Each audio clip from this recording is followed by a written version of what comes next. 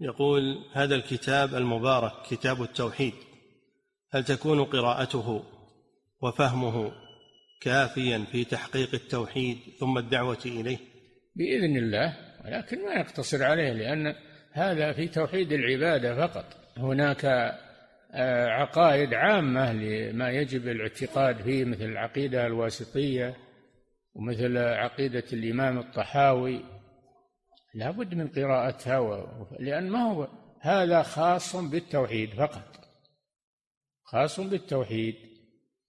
توحيد العبادة لأنه هو الأصل وهو الأساس ولكن العقيدة لها أبواب كثيرة مذكورة في كتب العقائد. عقائد أهل السنة. نعم.